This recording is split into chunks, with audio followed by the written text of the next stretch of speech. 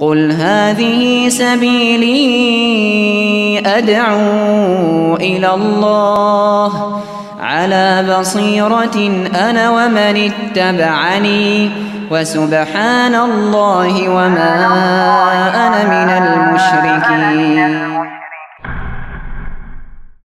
بسم الله الرحمن الرحيم السلام عليكم ورحمة الله وبركاته الحمد لله رب العالمين Hamdan kasiran tayyiban mubarakan fi Kama yuhibbu rabbuna wa yardah Wa ashadu an la ilaha illallah wahdahu la syarikalah Wa ashadu anna muhammadan abduhu wa rasuluh Allahumma salli ala nabina Muhammad wa ala alihi wa man tabi'ahum bi ihsan ila yaumiddin. Allahumma inna nas'aluka ilman nafi'a wa rizqan thayyiba wa amalan mutaqabbala. Puji syukur kita panjatkan pada Allah. Selawat dan salam Mugi-mugi tercurah pada junjungan kita Nabi besar Nabi Agung Muhammad sallallahu alaihi wasallam. Pada subuh hari ini kita kembali melanjutkan pembahasan Bulughul Maram karya Imam Ibnu Hajar Al Asqalani masih membahas seputar sholat kita mulai hari ini dengan hadis di buku terjemahan nomor 277 saking Anas bin Malik radhiyallahu anhu. Yang kemarin yang di depan-depan sini belum dapat buku? Dari depan dulu sini. Depan dulu sini Pak.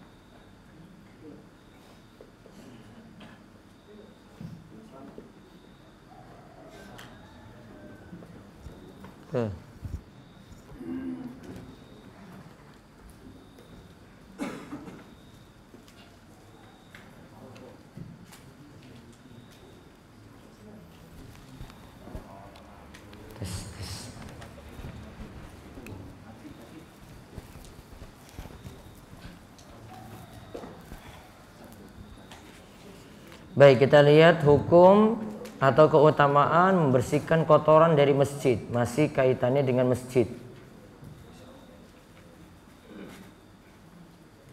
Keutamaan mengeluarkan kotoran dari masjid. Monggo dibaca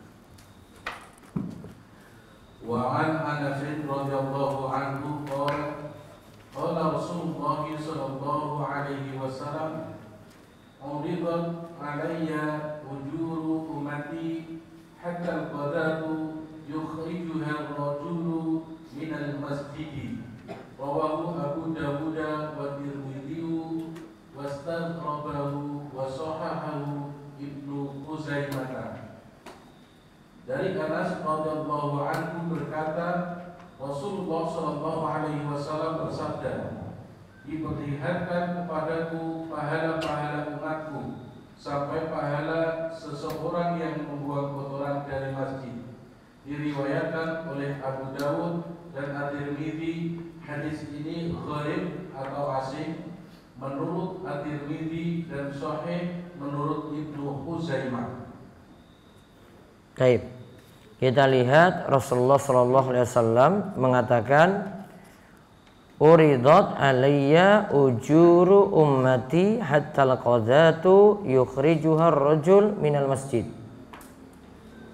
Diperintahkan kepadaku diperlihatkan kepadaku pahala-pahala umatku sampai pahala seseorang yang membuang kotoran dari masjid. Al-qadha dalam hadis itu maknanya kotoran yang nampak bisa jadi debu dan yang lainnya dia bersihkan atau dia keluarkan dari masjid Nah, faedah yang bisa kita ambil dari hadis ini. Satu, kita diperintahkan menjaga kebersihan masjid. Kita diperintahkan menjaga kebersihan masjid.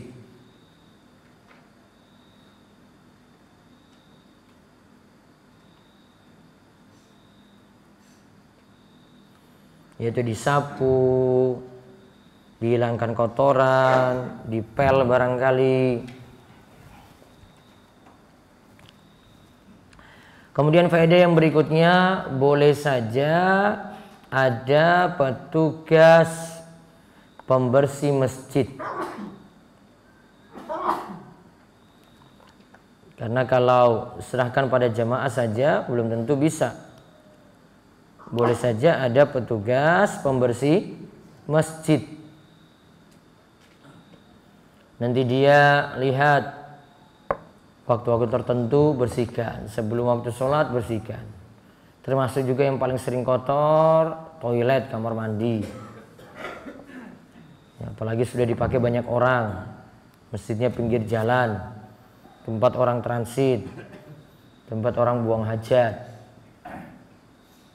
Itu lebih diperhatikan lagi. Kemudian faedah berikutnya lagi.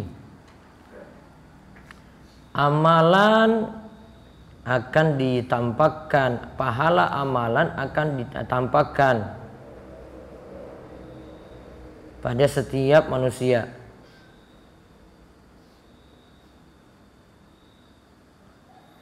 pahala amalan akan ditampakkan pada setiap manusia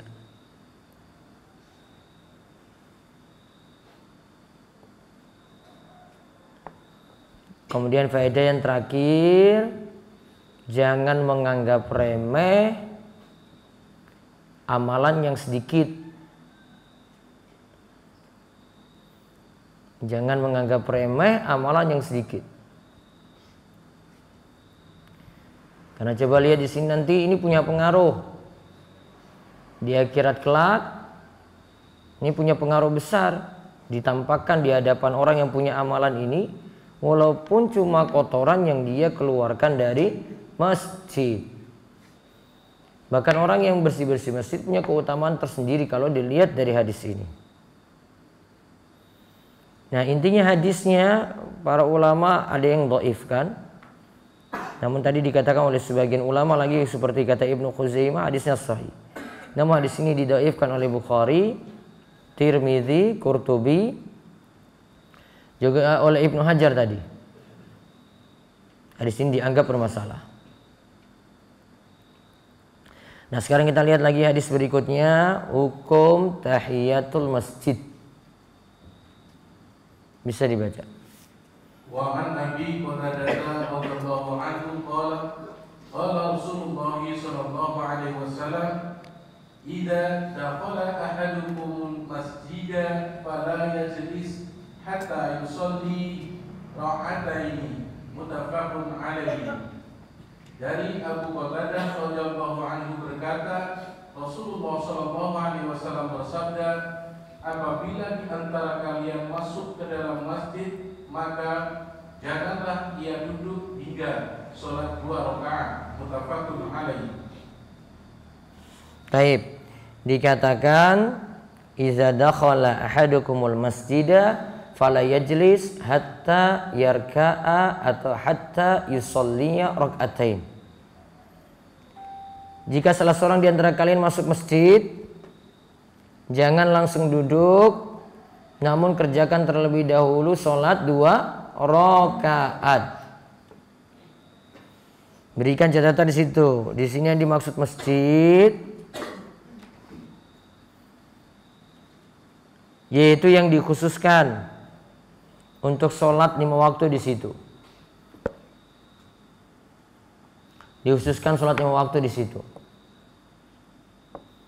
Berarti ada kumandang azan, ada ikomah. Adapun di beberapa tempat ada musola SD, ada musola kantor. Musola kantor itu biasanya ada ruangan khusus, terus disediakan untuk sholat, ini nggak masuk. Jadi kalau masuk di situ tidak ada anjuran untuk tahiyatul masjid atau musola rumah ini nggak masuk. Nah, faedah yang bisa kita ambil dari hadis.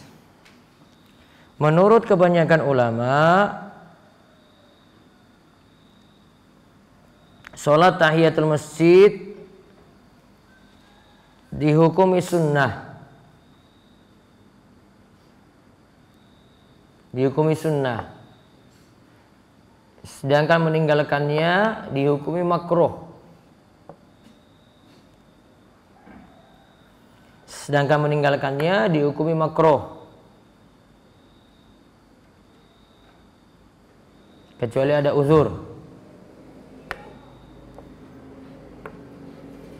Dosa atau tidak berarti kalau ditinggalkan nggak dosa. Namun baiknya tetap sholat tahiyatul masjid. Kemudian faedah yang kedua sholat tahiyatul masjid itu dua rakaat.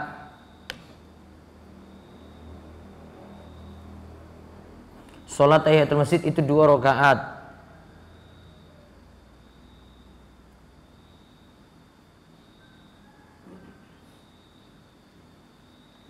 Mau mengerjakan lebih daripada itu juga boleh.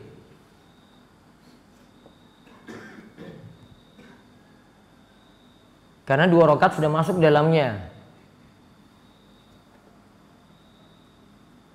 Nah sekarang seperti kemarin kita telah bahas di malam kemis. Boleh ketika faedah ketiga, boleh ketika masuk masjid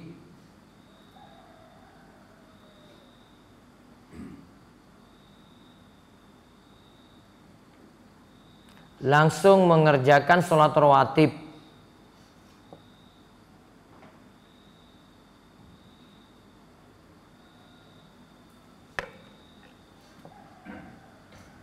Atau mengerjakan sholat dua rakaat lainnya. Maka tahiyatul masjid sudah masuk di dalamnya Jadi niatannya pokoknya cuma dua rakaatnya. Dia masuk masjid.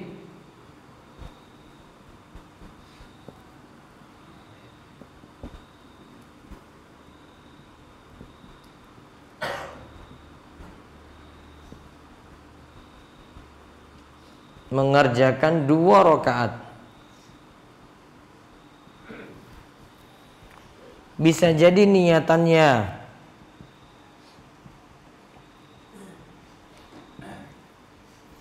tahiyatul masjid itu sendiri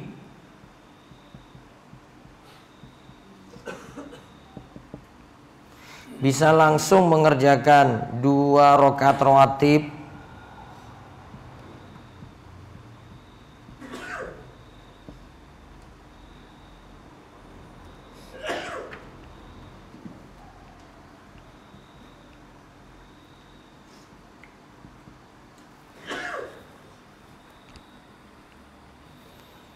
atau langsung mengerjakan sholat fardu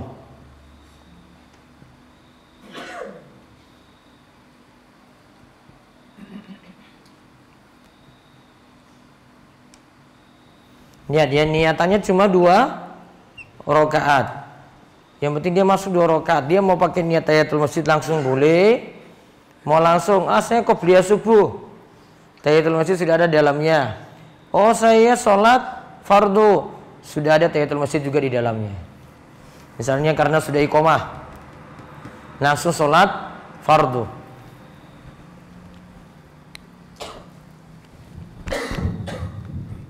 Itu juga boleh.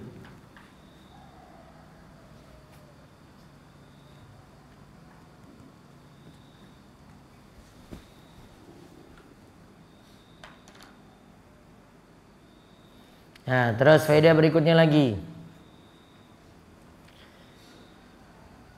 Kalau bentuknya ketika masuk masjid Kalau bentuknya ketika masuk masjid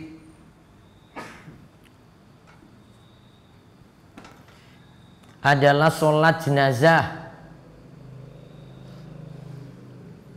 sujud tilawah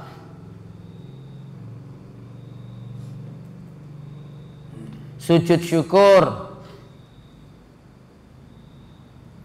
Atau sholat satu rakaat. Maka tidak disebut tahiyatul masjid. Apa saja rinciannya? Sholat jenazah. Kan bentuknya bukan berapa rakaat namun berapa kali takbir. Berarti belum cukup atau sujud tilawah wong cuma sujud. Atau bentuknya cuma sujud syukur. Atau sholat satu rokaat misalnya witir. Maka belum dapat pahala sholat tahiyatul masjid. Karena itu tidak bentuknya rokaat atau kurang dari dua rokaat minimalnya dua rokaat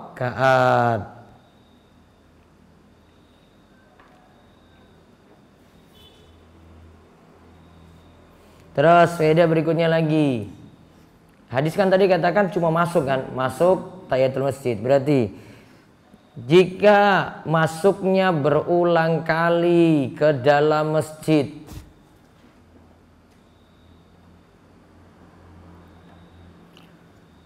maka tetap disyariatkan maka tetap disyariatkan Sholat tahiyatul masjid berulang kali.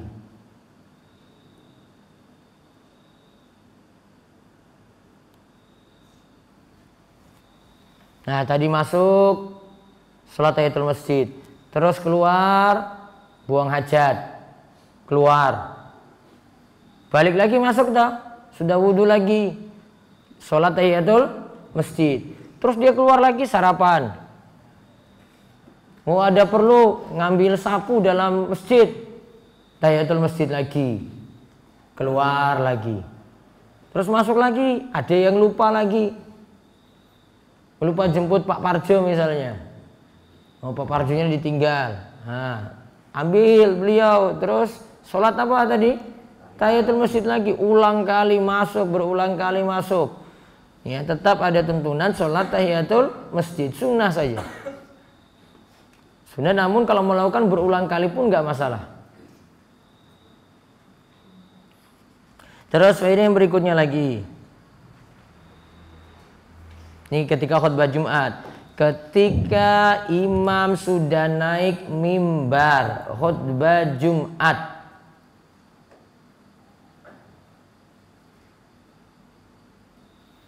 Ketika imam sudah naik mimbar khutbah Jumat tetap ada anjuran sholat tahiyatul masjid.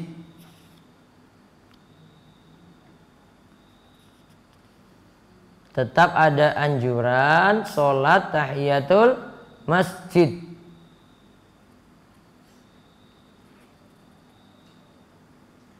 Jadi dia masuk, imam sudah naik mimbar, lagi khutbah ini.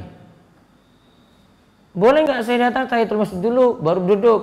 Malah justru diperintahkan tahiyatul masjid dulu, rokaatnya ringan, gak usah lama-lama, baru kemudian dia dengarkan khutbah.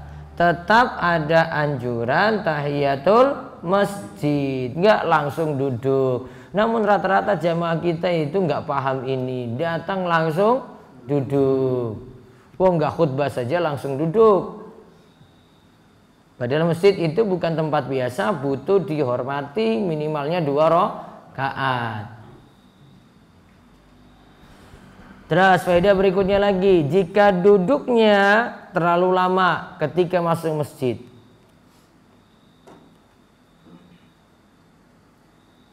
Jika duduknya terlalu lama ketika masuk masjid lalu tidak mengerjakan sholat tahiyatul masjid. Lalu tidak mengerjakan sholat tahiyatul masjid. Maka sholat tersebut jadi luput.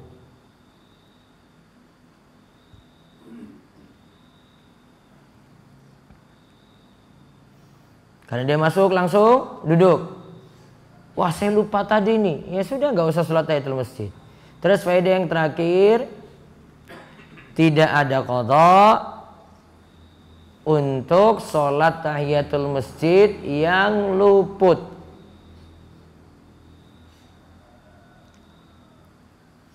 Tidak ada kodok untuk sholat tahiyatul masjid yang luput.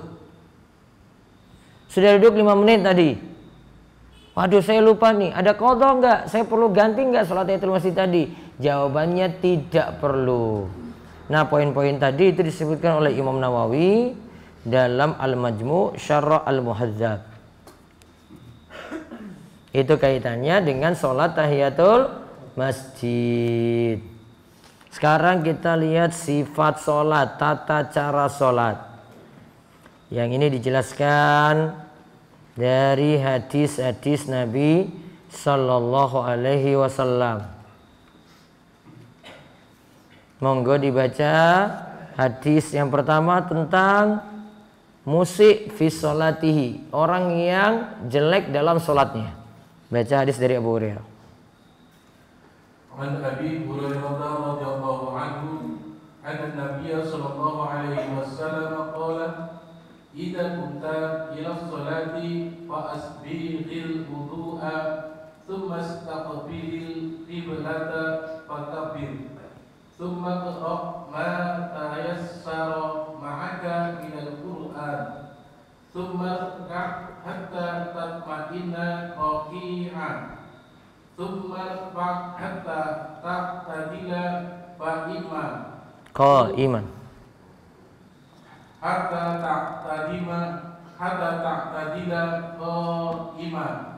Thumma sujud hatta tatma'inna sajida.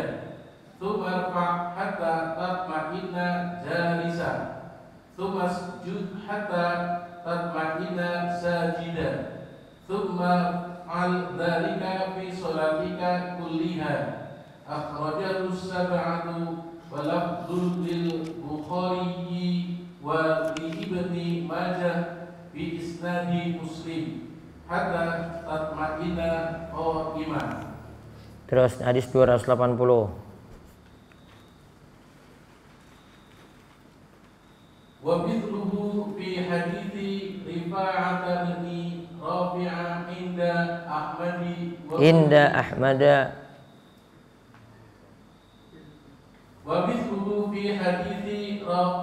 Rifa'ata رفاعة بن رافع عند أحمد وابن حبان حتى تطمئن حتى تطمئن قائما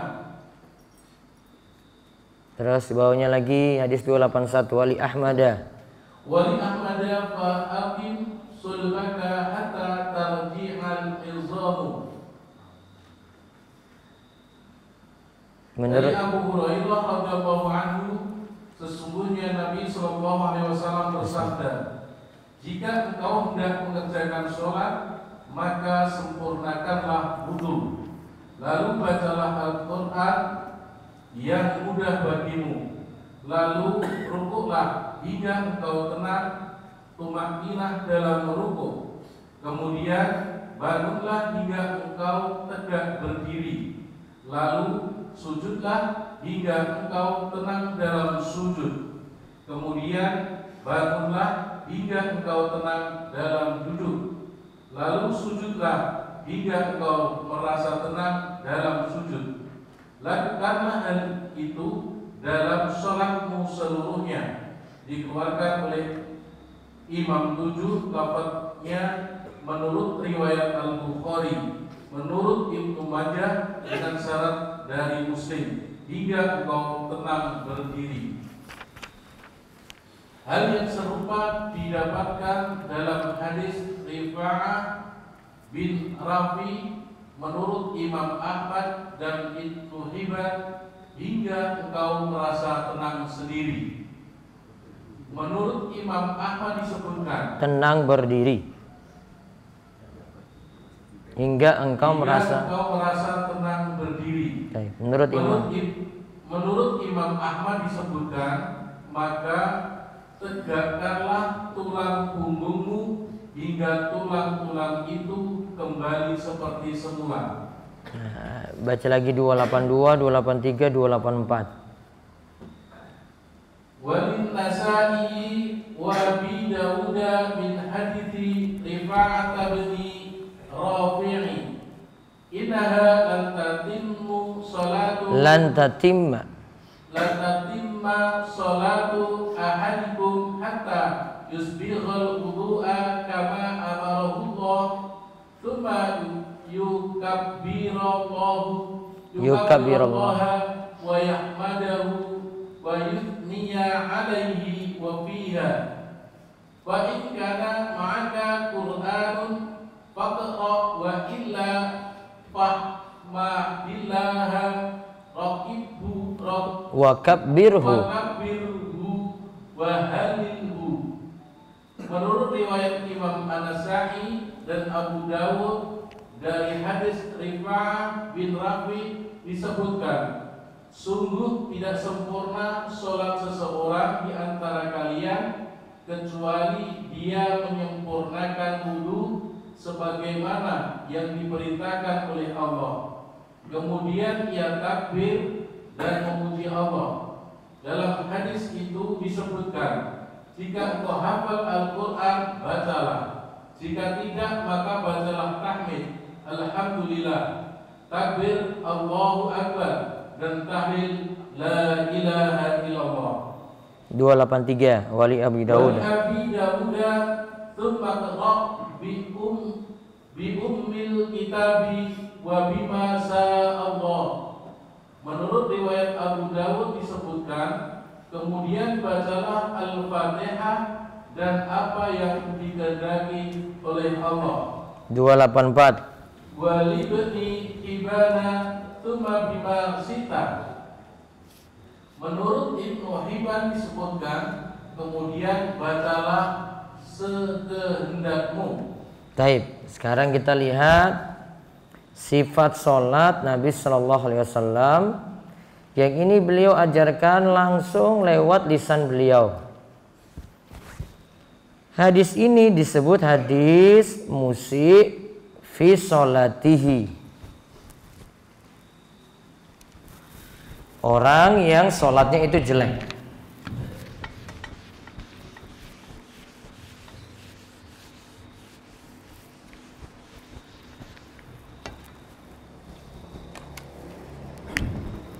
Namanya hadis al-musi' fi salatihi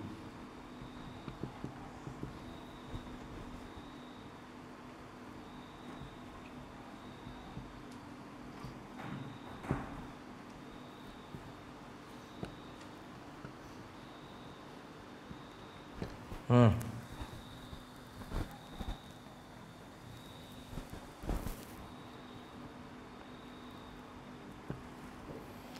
Orang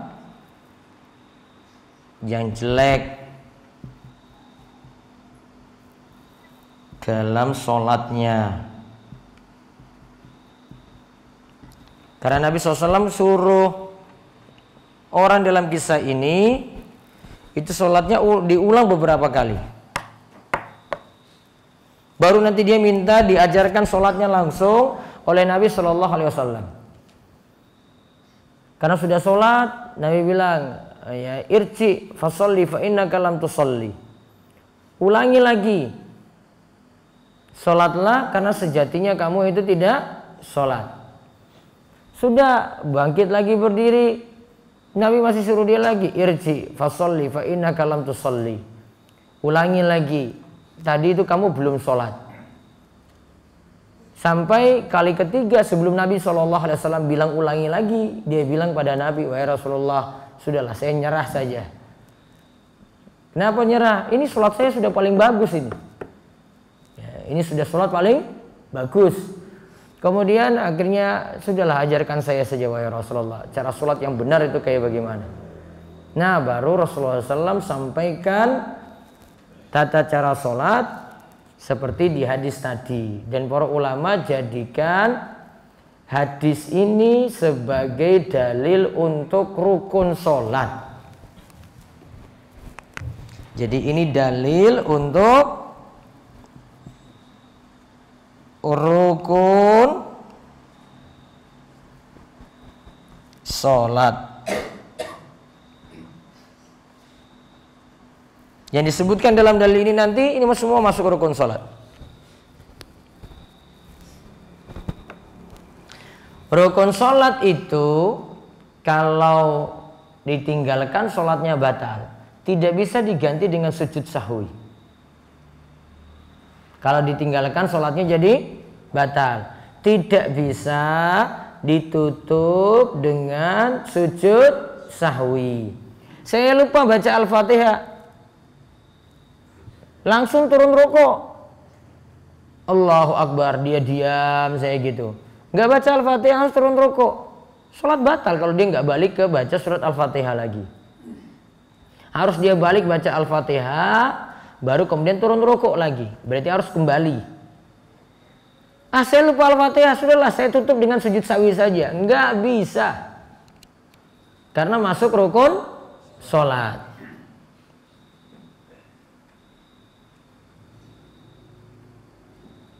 Nah, hadis rujukannya dua hadis. Hadis Muslim ini dua hadis. Yang pertama Abu Hurairah, yang kedua dari hadis Rifa'ah bin Rafi'. Hadisnya ada dua ya, dari hadis Abu Hurairah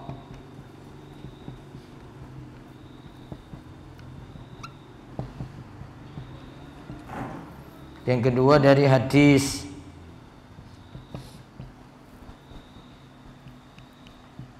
Rifa'ah bin Rafi'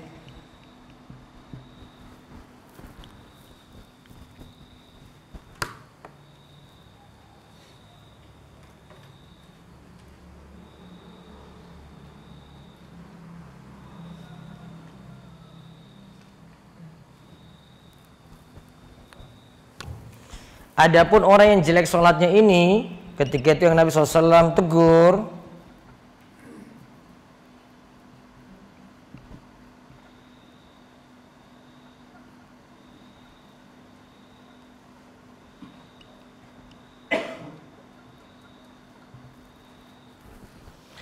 ini bernama Khalad bin Rafi'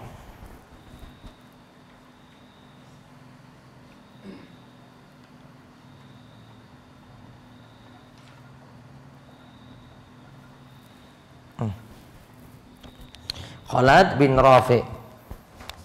Bukan Khalid di sini, Khalad.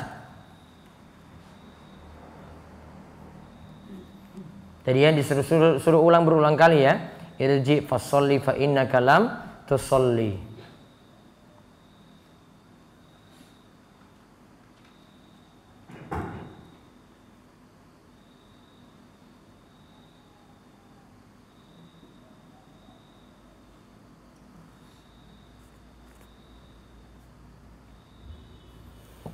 Nah, lihat kita lihat dulu faedah yang bisa diambil.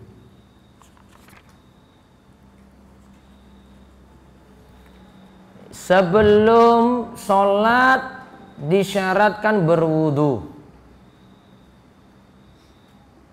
Sebelum sholat disyaratkan berwudu.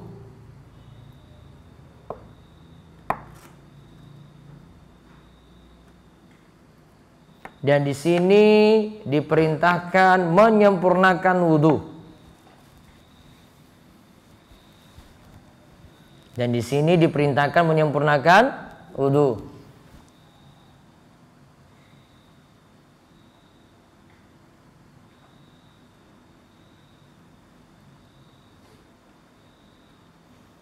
Nah, kali ini coba dicatat dulu. Ada 17 rukun sholat ada 17 rukun sholat Nanti penjelasan lengkapnya baru pekan depan.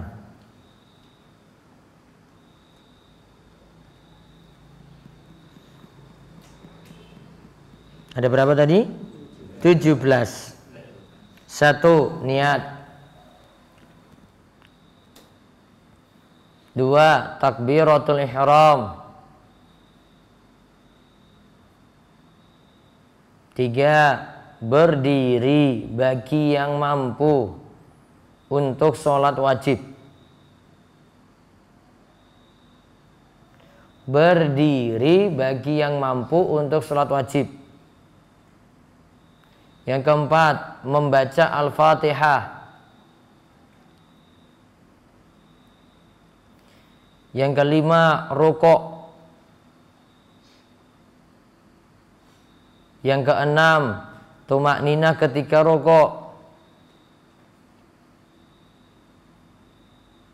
Yang ketujuh, iktidal. Yang kedelapan, tumak nina ketika iktidal. Tumak nina ketika iktidal. Yang kesembilan, sujud dua kali.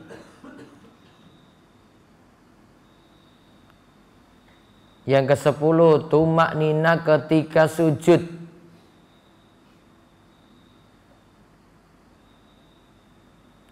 Yang kesebelas, duduk antara dua sujud.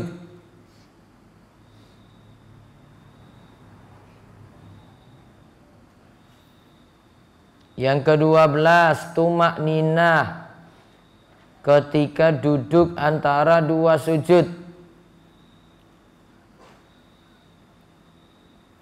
Yang tiga belas, tasyahud akhir.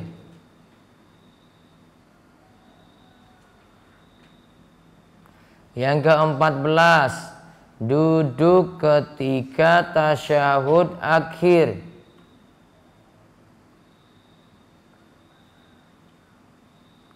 Yang kelima belas Salawat pada Nabi Sallallahu Alaihi Wasallam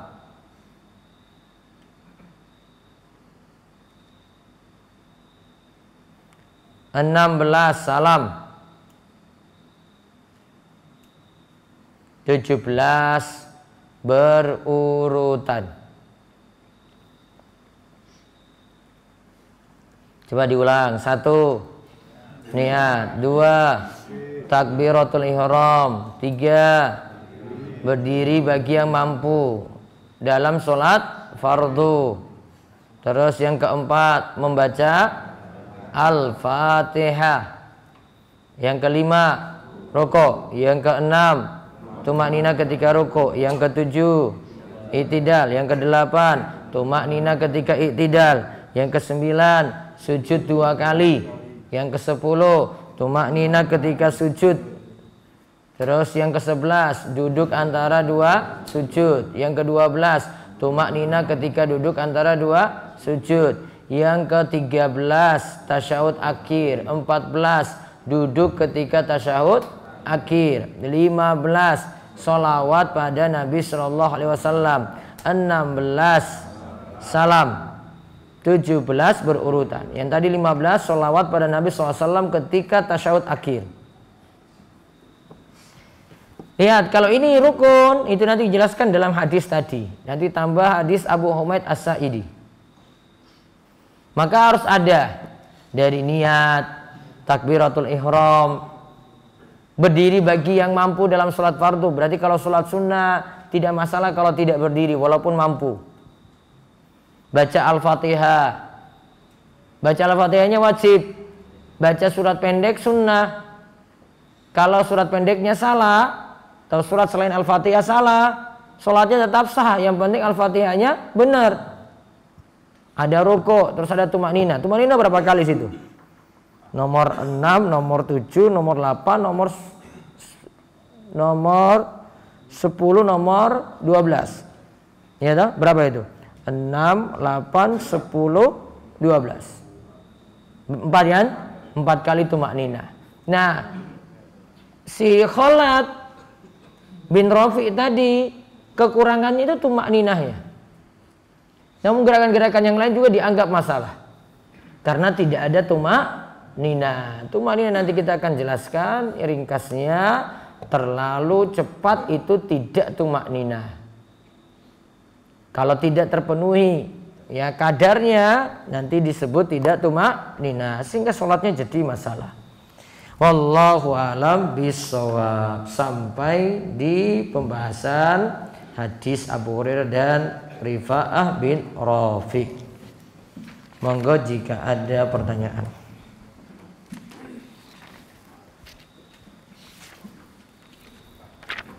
Ada yang belum dapat kitab Bulughul Maram?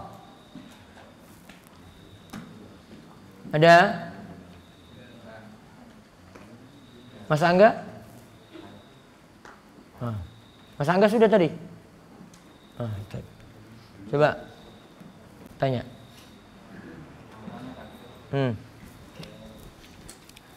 Yes. Pada suatu saat saya pernah sholat di masjid dua orang. E, pertama saya berjajaran, terus ada lagi setelah satu orang sudah selesai, sudah jamaah lagi datang. Terus jamaah itu tidak menarik saya, tapi berdiri di samping kiri imam. Terus saya bingung apa yang harus saya lakukan supaya jamaah ini tahu saya saya gimana. Terus Jadi jenengan sholat apa? Sholat sendirian dulu, terus ada makmum datang. Iya. Tadinya ada imam, cuma saya berdua sama imam. Ah, Berdiri jajar. Jenengan sebelah kanan, imam sebelah kiri. Terus ada jamaah baru datang, dia sebelah kiri imam. Iya, sebelah kiri imam. Sebenarnya tidak menarik saya, tapi pada menarik. Iya, ora paham berarti. Sholatnya sah. Harusnya dia tarik jenengan mundur ke belakang atau imam mundurkan dua-duanya ke belakang. Jadi imamnya langsung gini aja. Hmm. Itu. Sudah ke belakang gitu. Orang paham ya malah emosi. Itulah kalau orang ngaji gitu. Ya sudah dibiarin sah sholat. Atau imamnya maju kalau ada tempat di depan. Ini kan gerak maju lagi. Imamnya yang maju. Nah, lantas dua tadi rapatkan. Mudah-mudahan paham. Jangan-jangan dia kabur juga. Oh, imamnya saya kabur ini. Itu. Ada lagi. Ya.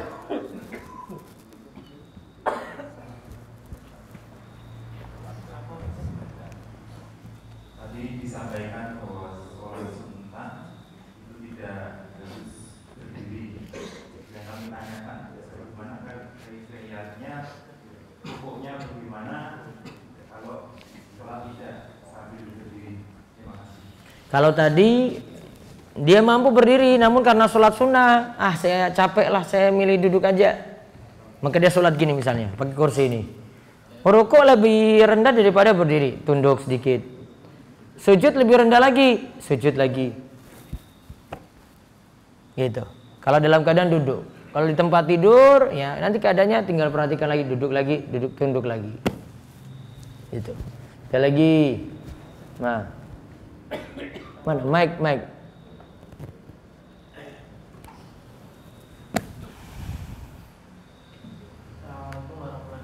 Waalaikumsalam warahmatullahi wabarakatuh. Saya tanyakan ketika kita datang posisi sudah imam sudah membaca surat pendek Imam sudah baca surat pendek. Baik. Karena kita juga masih berkewajiban membaca al-fatihah. Terus yang kedua eh, dalil sholat ketika sudah posisi rukuk kita baru datang Posisi ruku baru datang ya.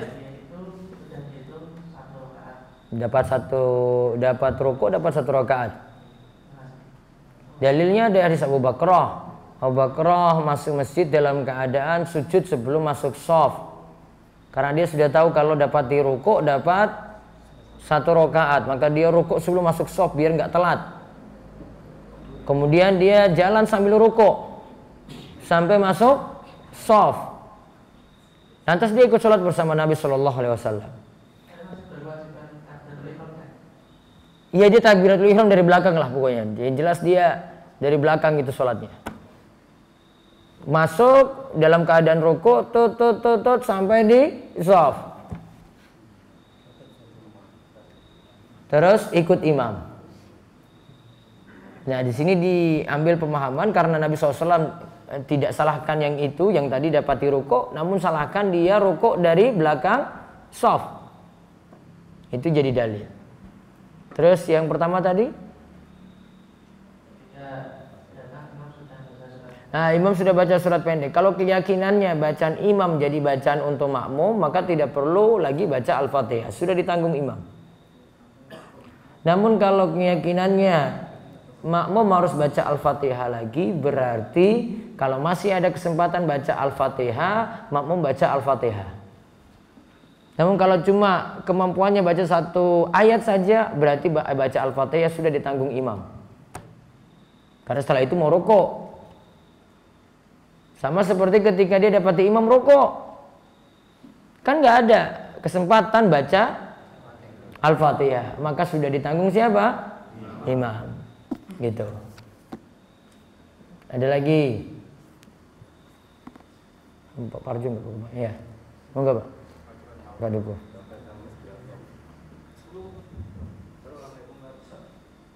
Ya.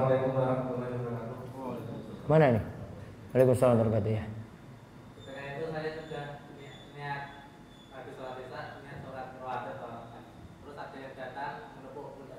jenengan lagi dua rakaat terus ada yang menepuk pundak saya terus datang menemani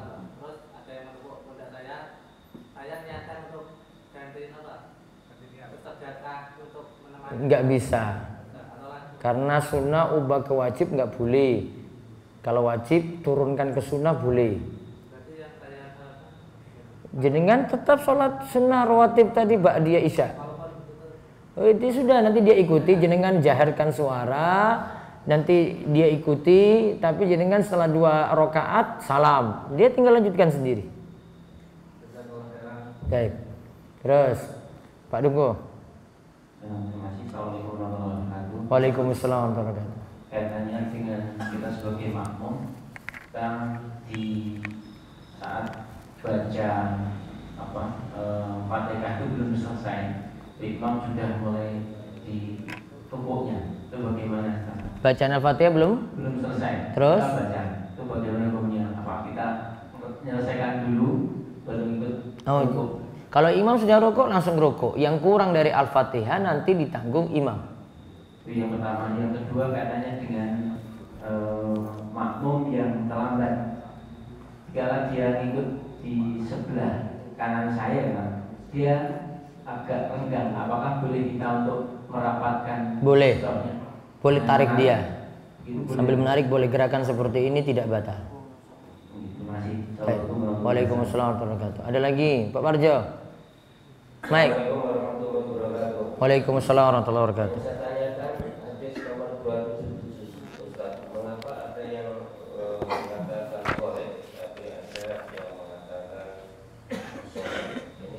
Apa? Karena hadis selanjutnya ini membicarakan ditampakkan bagi kalau ini pahala ditampakkan bagiku uh, dosa dari umatku yang di mana dia hafal Al-Quran kemudian dia lupa. Dianggap dosanya sangat-sangat besar. Para ulama kritik ini kok lupa Al-Quran saja dosanya lebih besar gitu. Dosanya sangat-sangat besar. Padahal Nabi Shallallahu Alaihi Wasallam pernah lupa satu ayat namun tidak dianggap masalah. Maka dari sisi teksnya salah. Dan dari sisi riwayat hadis ini ada illah. Illah itu cacat. Ya Imam Bukhari mengatakan doib ya Imam Ibnu Hajar juga demikian. Tidak menyetujui hadisnya. Karena ada dari sisi teksnya dari sisi ada perawinya juga situ yang bermasalah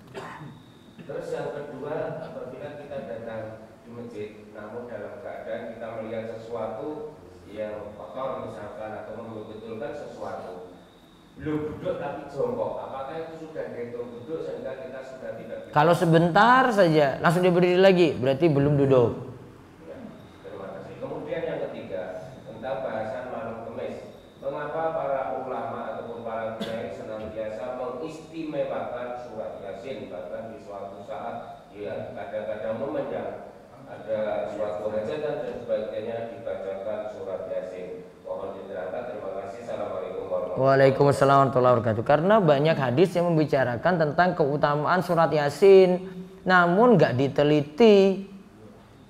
Padahal itu sejatinya hadis dhaif. Kurang diteliti. Sehingga cuma oh tahu ada hadisnya terus amalkan saja kayak gitu. Itulah akibatnya memperhatikan hadis dhaif. Apalagi baca di masjid-masjid fatal lagi. Hadis doifnya dibaca di masjid fatal karena harus diberikan keterangan. Nah kurangnya di situ umat kita. Tahunya baik-baik, oh ternyata hadisnya bermasalah kayak hadis tadi. Ada lagi satu, ya. ketika azan sudah berkumandang kita baru hadir di dalam masjid itu sebaiknya duduk Dengarkan azan dulu, baru sholat tahiyatul masjid, baru duduk. jadi datangnya Ini lagi sholat lima waktu, Nji. Berdiri dulu kalau begitu. Nunggu, baru tahiyatul masjid, baru duduk. Datang nggak boleh duduk langsung lagi dengar azan. jadi berdiri itu tidak dianggap eh, tidak sopan itu Berdiri tidak dianggap tidak sopan, tidak malah duduk langsung yang dianggap tidak sopan. Itu. Kalau kaitannya dengan masuk masjid, duduk langsung dianggap tidak sopan pada masjid. Masjid mesti ditahiyatin, yaitu dihormati. Berdiri dulu nunggu, jawab azan. Terus,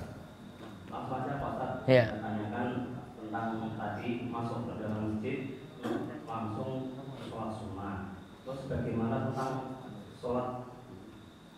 Pada waktu sholat Jumat lebih baik mendengarkan khotbah daripada sholat sunnah langsung masuk tahiyatul masjid dulu. Baru kemudian duduk. Yang tadi